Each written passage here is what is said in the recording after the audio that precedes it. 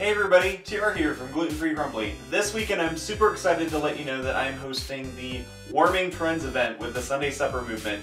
And it's going to be full of all sorts of recipes that not only warm up your body, but really warm up the soul and really make you feel like it's you're under a nice warm blanket in the middle of winter because we know that crap's coming. I may have lucked out this past week with some mid-70s weather, but shoot, it has been pretty cold this morning. So let's go ahead and delve into my hot spiked apple cider recipe, which is not only gluten-free, but super easy to make. So what you'll need to make this hot spiked apple cider will be a gallon of apple cider.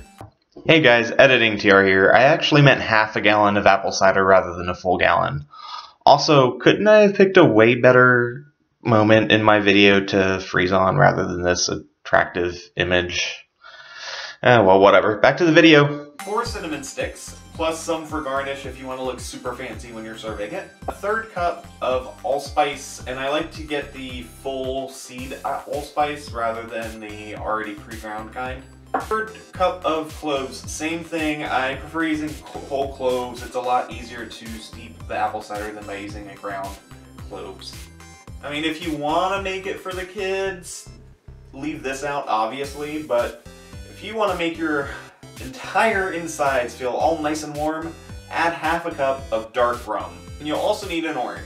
So in addition to the ingredients, you'll also want to have some tea bags or spice bags, and either a large pot or a crock pot if you have that handy. The first thing we're going to do is pretty simple. We are just going to add our apple cider into the pot and try to hide your complete stress and anxiousness about making sure you don't spill it everywhere. Oh god, stop it. We're good. The next thing you'll want to do is that you'll want to take four of your cinnamon sticks and place them into one of the spice bags. Tie it up and add it in. Rinse and repeat with your third cup of allspice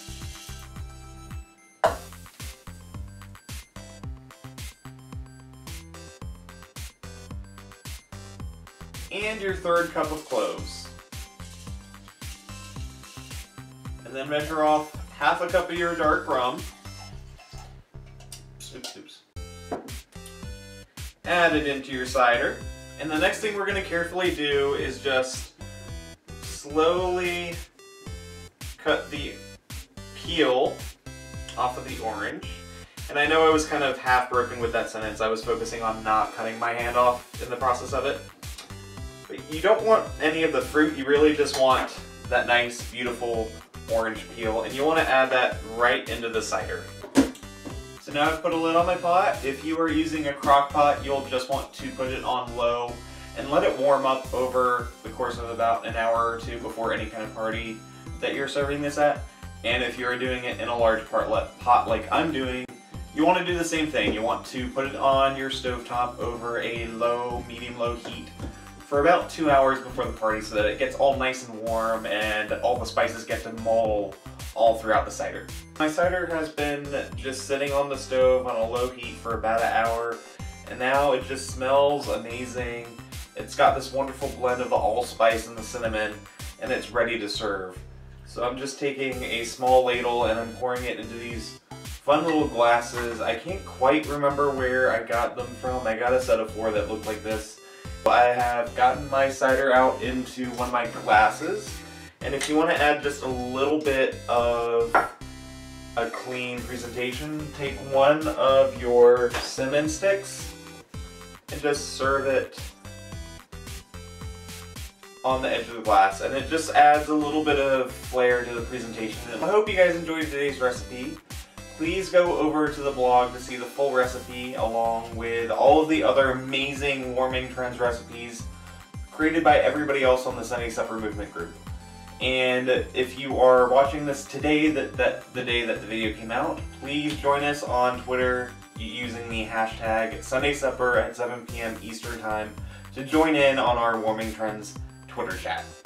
As always, you can find me over at my blog on Gluten Free Crumbley, or you can also find me here on my YouTube channel, normally every Wednesday and Friday for a Food Tip Wednesday and a Geek, geek,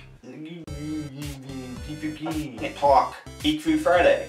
And uh, if you guys enjoyed this, please like and subscribe to my channel and leave any comments below for any kind of recipes, Geek Food Fridays, or food tips you'd like to see, and I will be sure to incorporate them into future uh, YouTube videos. So I will see you guys later, and have a good weekend. Bye!